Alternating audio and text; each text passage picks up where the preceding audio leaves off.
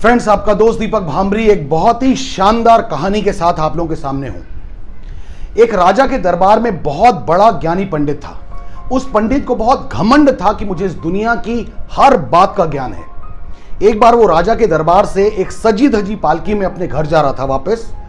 जिस रास्ते पर उसका काफिला चल रहा था, अचानक गाय भैंस चराने वाला एक छोटा सा बच्चा उसके सामने आ गया। और उसने पंडित जी के सिपाहियों से पूछा, इतनी सुंदर पालकी में कौन जा रहा है? सिपाही ने जवाब दिया, इसमें एक बहुत बड़े पंडित जी हैं। बच्चे ने फिर पूछा, पंडित कौन होते हैं? सिपाही ने जवाब दिया, जिन्हें बहुत ज्ञान होता है, वो पंडित होते हैं। इस बातचीत के चलते सिपाहियों ने पालकी को आराम करने के लिए रोक दिया। बच्चे ने फिर पूछा, इन पंडित जी को सब पता है? इतने में पंडित जी गुस्से से लाल पीले होते हुए पालकी से बाहर आ गए। उन्होंने सिपाहियों से पूछा, ये कौन लड़का है भाई? और ये यहाँ पे क्या कर रहा है? सिपाहियों ने जवाब दिया, पंडित जी, ये लड़का कुछ सवाल जवाब कर रहा है, ऐसी बातें पूछ रहा है जिनका जवाब हमें पता नहीं है। घमंड में चोर उस पंडित ने उस लड़के से पूछा, पूछो, तुम्हें क्या पूछना है? लड़का नीचे झुका और अपनी छड़ी से कुछ आड़ी तिरछी लकीरें ज़मीन पर खींच दी। और पंडित जी से पूछा, क्या आप बता सकते हैं कि ये क्या है?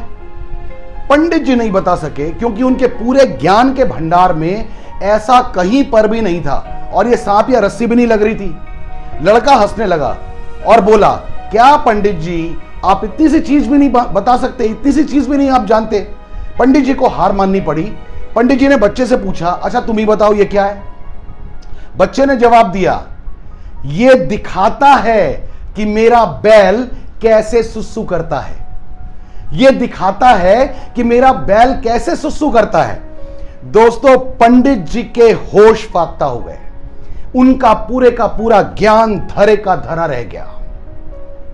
दोस्तों, इस कहानी से हमें क्या संदेश मिलता है? इस कहानी ने हमें क्या संदेश दिया? इस कहानी ने हमें क्या मैसेज दिया? इस कहानी ने हमें यह मैसेज दिया कि आप चाहे अपनी फ़ील्ड में कितने ही माहिर क्यों ना हो जाएँ, इस दुनिया का हर ज्ञान आपको नहीं है। दोस्तों अदरवाइज़ मत लीजिएगा। हम में से बहुत सारे लोग ऐसे हैं जो बहुत ही छोटी छोटी अचीवमेंट कर लेते हैं और उसके बाद उन्हें लगता है कि मुझे इस दुनिया का सबसे ज़्यादा ज्ञान है। बहुत सारे लोग ऐसे हैं जो छोटी मोटी जॉब कर रहे हैं लाख रुपए की सवा लाख की दो लाख की ढाई लाख की तीन लाख की। और उनका एटीट्यूड ऐसा हो जाता है कि उन्हें इस दुनिया की हर बात पता है। दोस्तों, मैं कहना चाहता हूँ, एक छोटा सा बच्चा इतने बड़े ज्ञानी पंडित का घमंड चूर कर सकता है। हमें यह मान के चलना चाहिए कि इस दुनिया का सारा ज्ञान हमें नहीं है। हम चाहे जो मर्ज़ी भी हो, हम चाहे साइंटिस्ट क्यों ना बन जाएँ, लेकिन इस दुनिया का पूरा ज्ञान हमें कभी नहीं होगा। दोस्तों मैं अपने नेटवर्क मार्केटिंग के सारे दोस्तों से ये हाथ जोड़ के रिक्वेस्ट करना चाहता हूँ अपील करना चाहता हूँ कि हम में से बहुत सारे लोग ऐसे हैं जो बहुत ही छोटी कामयाबी के बाद भी अपने आप को नेटवर्क मार्केटिंग इंडस्ट्री का पूरे का पूरा ब्रह्मांड जानने वाला इंसान मानने लग जाते हैं। मेरी आपसे हम्बल रिक्वेस्ट है, इस दुनिया में बहुत कुछ है सीखने को। इस दुनिया का सारा ज्ञान हमें नहीं मिल सकता। हम चाहे जितने मर्ज़ी एक्सपीरियंस्ड हो जाएँ, हम इस दुनिया के पूरे ज्ञान के मालिक कभी नहीं हो सकते। इसलिए ये एटीट्यूड हमें छोड़ देना चाहिए कि मुझे सब पता है। हम में से बहुत सारे लोग ऐसे हैं जो थोड़ी कामयाबी के बाद अपने सामने कोई भी इंसान आता है, जब हम किसी गेस्ट से मिलने जाते हैं तो हम उसे बहुत छोटा दिखाने की कोशिश करते हैं। अगर मैं जैगवार में आ गया या मर्सिडीज में आ गया या बीएमडब्ल्यू में आ गया और मैं किसी से मिलने जा रहा हूँ तो हम सामने वाले को ऐसे दिखाते हैं जैसे मैं बहुत बड़ा हूँ और वो बहुत छोटा है।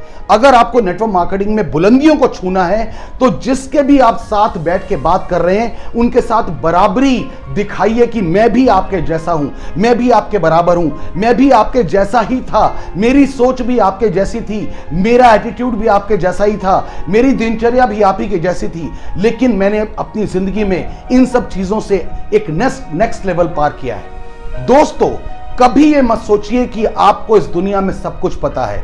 हम इस पूरे ब्रह्मांड की अगर मैं बात करूँ, जिस शहर में आप रहते हैं, जिस गली में आप रहते हैं, जिस घर में आप रहते हैं, जिस स्टेट में आप रहते हैं, जिस कंट्री में आप रहते हैं, जिस यूनिवर्स में आप रहते हैं, ये चींटी के पैर के बराबर है सर बराबर है। हमारा ज्ञान बहुत ही तुच्छ है। इसलिए कभी भी अपने आप को इस दुनिया का सबसे बड़ा ज्ञानी समझने की गलती ना करें। दोस्तों, मुझे लगता है कि मेरा ये मैसेज आपको पसंद आएगा। आपको इस बात से अपनी ज़िंदगी में कुछ सुधार करने का मौका मिलेगा। और दोस्तों, कहते हैं ना स्टेप बाय स्टेप अगर हमने छोटे मोटे सुधार किए तो हमारी ज़िंदगी बड़े बड़े बदलाव की तरफ़ परिवर्तित होती जाती है।